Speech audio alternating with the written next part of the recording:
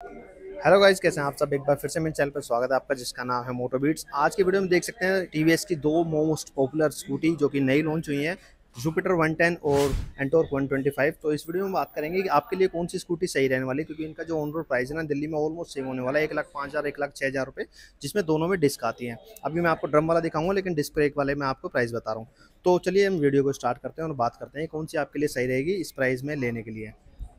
सबसे पहले हम साइज़ की बात कर लेते हैं। जुपिटर में आपको 113 सीसी का एयर कूल्ड इंजन देखने को मिल जाएगा, जो कि प्रोड्यूस करेगा 7.91 bhp और 9.2 nm का टॉर्क सो एंटोर्क जो है वो आपको 125 सीसी का एयर कूल्ड इंजन देखने को मिल जाएगा, जो कि प्रोड्यूस करता है 9.2 bhp और 10.5 nm का टॉर्क तो पावर आपको जो है 125 सीसी होने की वजह से ना एंटोर्क में ज़्यादा देखने को मिल जाएगी।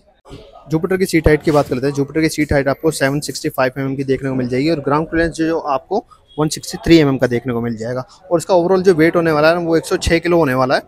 एंटोर की बात करते हैं एंटोर की जो सीट हाइट है, वो आपको 770 सेवेंटी mm की देखने को मिलेगी। लेकिन जो इसका ग्राउंड क्लियरेंस है, वो थोड़ा कम होने वाला है, एक सौ mm का। और उसका जो वेट है ना, वो आपको 118 केजी का देखने को मिलेगा। तो एंटोर जुपिटर से आपको 12 किलो वज़न हैवी मिलेगी। तो ये बात हो गई इंजन और साइज़ की। अब हम बात कर लेते हैं इनकी लुक्स की। आप देख सकते हैं, आपको जुपिटर में कुछ इस तरीके की आपको हेडलाइट देखने को मिल जाएगी। लो बीम और हाई बीम इधर आपको ब्लैक कलर का फ्रंट देखने को मिल जाए, स्मार्ट एक्स कनेक्ट की यहाँ पे बैजिंग देखने को मिल जाएगी वो मैं बताऊँगा क्या है। एलईडी हेडलाइट मैंने आपको दिखा दी, कुछ इस तरीके का हैंडल है।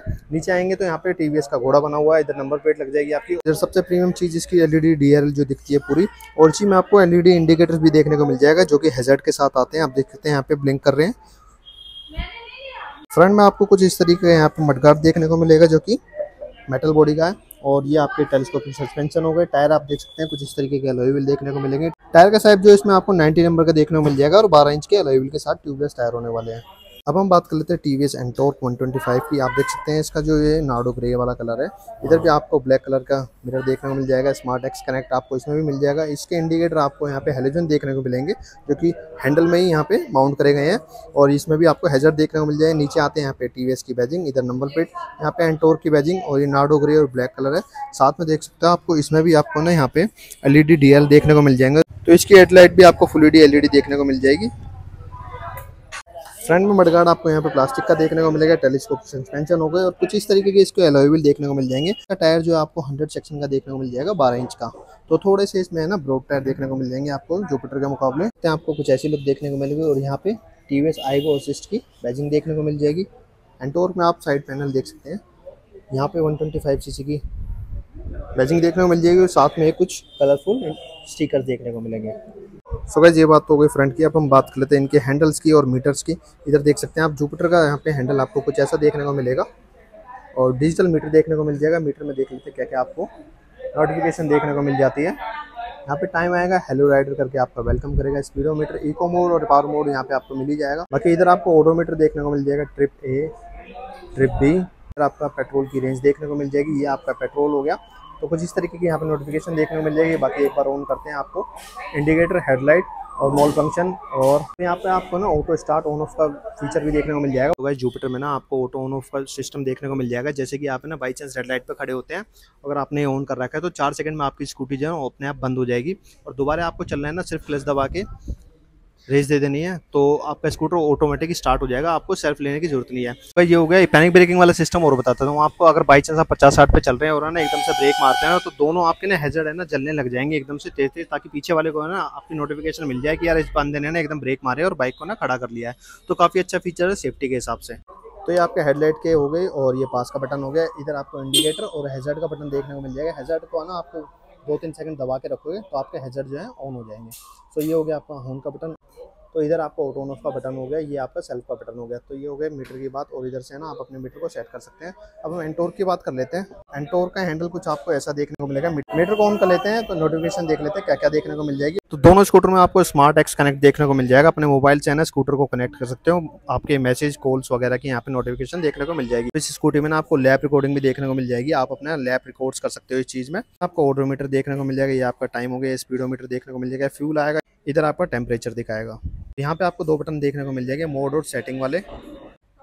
इधर आपको हेडलाइट के बटन्स देखने को मिल जाएँगे। ये आपका लो बीम हो गया, ये आपका हाई बीम और ये पास का बटन। ये आपका हो गया इंडिकेटर के बटन। इंडिकेटर आपको बंद करना है तो ऐसे कर सकते हैं। ये आपका होन का बटन हो गया। इधर आप देख सकते हैं, यहाँ पे आपको ना किल स्विच बटन भी देखने को मिल जाएगा, जो कि स्कूटी में काफ़ी कम आता है। ये आपका हैजर्ड का बटन हो गया और ये आपका सेल्फ स्टार्ट हो गया। ये आपको कुछ ऐसी देखने को मिलेगी और की है ना, आपके सारे फ़ंक्शन यहीं से ऑन ऑफ़ होंगे। आपकी स्कूटी भी ऑन ऑफ़ यहीं से होगी लॉक भी यहीं से होगी। डिग्गी भी आपकी यहीं से खुलेगी और फ्यूल टैंक भी आपका यहीं से खुलेगा। इधर आप देख सकते हैं, यहाँ पे चार्जिंग पोर्ट देखने को मिल जाएगा। इधर यहाँ पे आपको ना मोबाइल रखने के लिए या फिर बोतल रखने के लिए। तो इधर से यहाँ पे टैंक भी खुलेगा, ये देखिए, इधर से टैंक खुल गया। अब अच्छी बात है, आप ना आगे बैठे बैठे ही यहाँ पे पेट्रोल डलवा सकते हैं। फाइव लीटर का टैंक होने वाला है, जो कि काफ़ी अच्छी चीज़ है। पिलियन को उतरने की ज़रूरत भी नहीं है ना आपको पीछे मुड़ के देखने की ज़रूरत है। डिग्गी की बात कर लेते हैं, डिग्गी आपको ना अपने सेक्शन में सबसे बड़ी देखने को मिल जाएगी यहाँ पे। काफ़ी बड़ी यहाँ पे है ना जिप्टर की सीट भी होने वाली तो उसी हिसाब से ना इसकी डिग्गी भी काफ़ी बड़ी होने वाली है। देखिए, दो हेलमेट यहाँ पे ना आप आराम से रख सकते हैं और पीछे का ग्रैब रेल कुछ ऐसा होने वाला है। काफ़ी लंबी सीट है। अगर आप ना कंफर्ट के हिसाब से देखेंगे तो जुपिटर की सीट आपको काफ़ी लंबी देखने को मिल जाएगी। अब हम एंटोर की की की बात कर लेते हैं। कुछ इस तरीके की देखने को मिलेगी और यहाँ से ना आपका सिर्फ़ हैंडल लॉक और ऑन होगी। बाकी अगर आपको फ्यूल टैंक और डिग्गी है ना, यहाँ से खुलेगी, यहाँ पे लगाओगे तो लेफ़्ट में करोगे तो आपका टैंक खुल जाएगा और राइट में करोगे तो आपकी डिग्गी खुल जाएगी। डिग्गी की बात कर लेते हैं। डिग्गी आप देख सकते हैं, यहाँ पे सिंगल हेलमेट की देखने को मिलेगी कुछ इस तरीके की और यहाँ पे आपको चार्जिंग पोर्ट देखने को मिलेगा अंदर की तरफ़। तभी आप इसकी सीट देखना एंटोर की कुछ इस तरीके की मिलेगी। कुशनिंग काफ़ी अच्छी है, लेकिन सीट की जो लेंथ है ना, वो थोड़ी कम होने वाली है। लेकिन जुपिटर की जो सीट है ना, वो काफ़ी लंबी होने वाली है और डिग्गी भी मैंने दिखा दी आपको, काफ़ी बड़ी होने वाली है। जो प्रैक्टिकल होने वाली है ना आपको तो टी वी जुपिटर जो वन टेन है, वो ज़्यादा होने वाली है स्पेस के हिसाब से भी और सिटिंग के हिसाब से भी। तकरीबन छः लीटर के आसपास इसका फ्यूल टैंक होने वाला है।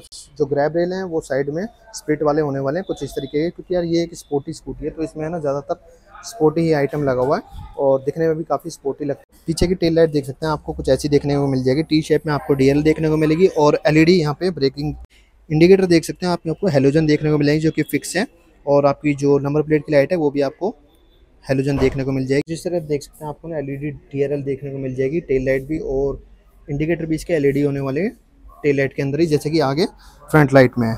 सो गाइज़ कुछ इस तरीके से इसका है ना एग्जॉस्ट होने वाला है। एग्जॉस्ट साउंड में सुना देता हूँ आपको। एंटोर का जो एग्जॉस्ट साउंड है ना, काफ़ी थम्पी होने वाला है।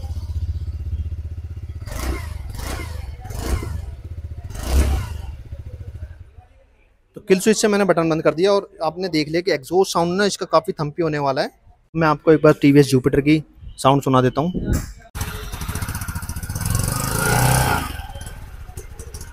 एंटोर का रियल व्हील भी कुछ इस तरीके से होने वाला है, जैसे का फ्रंट डिज़ाइन है, लेकिन इसका जो साइज़ है ना, पीछे वाला, यहाँ पे आपको 110 सेक्शन का टायर देखने को मिल जाएगा 12 इंचेस का।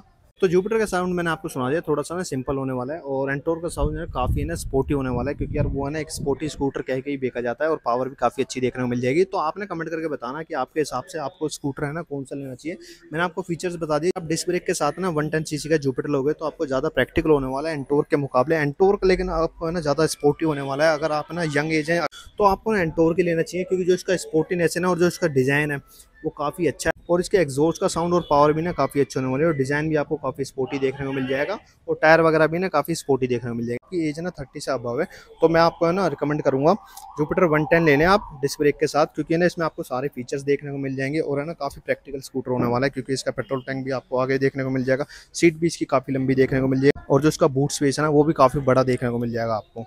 सो गैज मैंने आपको दोनों स्कूटी दिखा दी और मैं ना अब इसका ऑन रोड प्राइस बताता हूँ। आपको एक लाख पाँच हज़ार से छः हज़ार रुपये के बीच में इन दोनों का है ना ऑन रोड प्राइस होने वाला है जुपिटर आपको वन टेन सी में मिलेगी और एंटोर आपको वन ट्वेंटी फाइव सी में मिलेगी। और मैं आपको ना ईएमआई और बताता हूँ। अगर आप मिनिमम डाउन पेमेंट बीस हज़ार रुपये की करते हैं ना तो आपको है ना ईएमआई इसकी बारह महीने की, आपको पचासी सौ पचासी रुपये की पड़े अठारह महीने की डलवाना चाहते हैं तो तकरीबन छः हज़ार रुपये की ई पड़ेगी। और चौबीस महीने की ईएमआई अगर आप करवाना चाहते हैं तो आपको फोर्टी सेवन हंड्रेड रुपीज़ की पड़ेगी मतलब कि सैंतालीस सौ की। और छत्तीस महीने की कराना चाहते हैं मतलब कि तीन साल की तो चौंतीस सौ बारह रुपये की ई पड़ेगी आपको। आपको सिटी के हिसाब से ऑन रोड प्राइस पता करना है तो कमेंट में अपनी सिटी का नाम लिख देना, मैं आपको ऑन रोड प्राइस बता दूँगा। ताकि आपको टीवीएस का कोई भी प्रोडक्ट देखना है या लेना है ना तो आप अहिंसा टीवीएस पे आ सकते हैं, जो कि अच्छी मालवीय नगर में लोकेटेड है। तो आपके डिस्क्रिप्शन में मैं शोरूम का नंबर डाल दूँगा, आपको कोई भी इंक्वायरी है तो आप फ़ोन करके कर सकते हैं।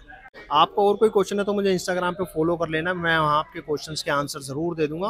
बाकी ये वीडियो कैसे लगी कमेंट करके ज़रूर बता देना वीडियो अच्छी लगी तो लाइक करना चैनल को सब्सक्राइब नहीं तो सब्सक्राइब कर ले। मिलते हैं किसी ऐसे वीडियो में, तब तक के लिए टाटा बाय बाय